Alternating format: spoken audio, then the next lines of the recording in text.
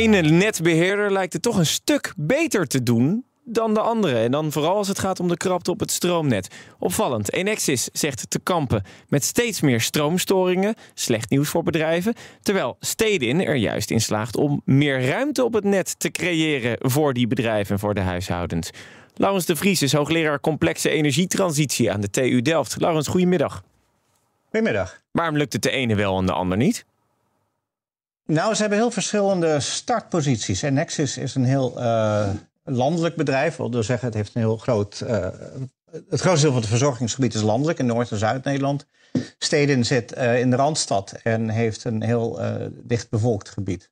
Ja. Ik, ik, denk dat, dat dat verschillende uitgangspositie vooral de reden is dat de, de een makkelijker omgaat met de veranderingen dan de ander. Ja, maar, maar die uitgangspositie is toch eigenlijk gewoon dat uh, Stedin nu zegt: Nou ja, op sommige momenten uh, dan op de dag mag je als bedrijf of ook als huishouden, maar het geldt vooral voor bedrijven, geen of minder stroom verbruiken. Nou, daardoor zijn er minder storingen en komt er ook weer ruimte voor andere bedrijven. Dat, dat is toch een hele logische oplossing. Ja, dat is, dat is natuurlijk wat anders dan die uitgangspositie. Dat is gewoon een, mm -hmm. ja, een operationele oplossing. Uh, ja, eigenlijk uh, spits vermijden. Hè? Dat, uh, ja, en dat kan je met, met regels doen. Je zou het ook met, in principe met spitsbeprijzing kunnen doen. Maar dat, dat is wel ingewikkelder en ligt ook moeilijker qua acceptatie. Maar ja, als we zeggen dat de netten vol zijn, dan, dan zitten ze dus vooral op bepaalde uren vol. Weet je, als de snelwegen, die, die zijn natuurlijk s'nachts ook niet, niet vol. En de netten ook voor het grootste deel niet. Nee, Dus er is wel ruimte, alleen niet op elk moment van de dag. Ja, dat, dat snap ik allemaal. Maar waar zit hem nou echt het verschil in?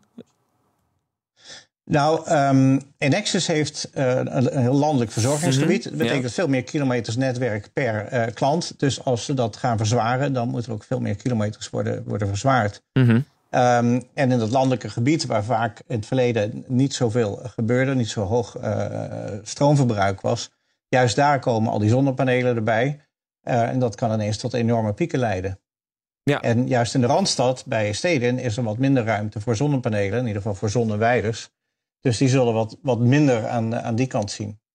Precies, maar het is dus niet zo dat dan steden eh, beter is op dit moment. Want die, die, die, die, ja, die, die, die zeggen, de scheppen nu ook een beetje op van... Uh, wij creëren juist ook ruimte doordat we een wat strenger beleid hebben.